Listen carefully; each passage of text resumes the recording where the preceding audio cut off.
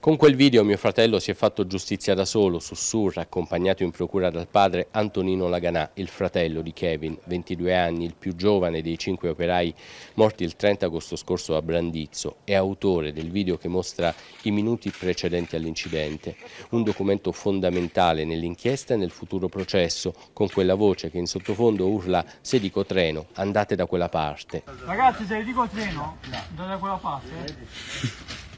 Scappare. Ok, che parte passate? Di qua!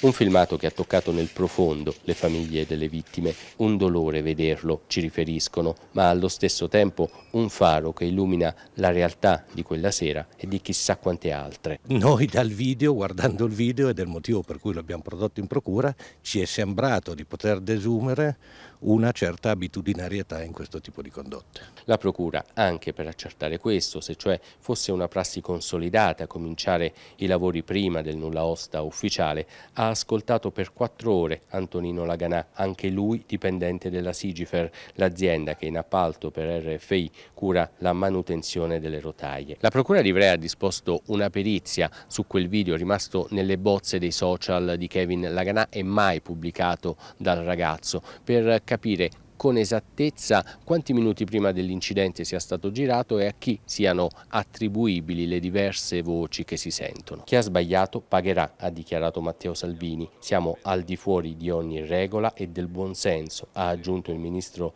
delle Infrastrutture e dei Trasporti. Non si lavora sui binari se ci sono treni in movimento. Massimo Postiglione, Sky TG24, Ivrea, Torino.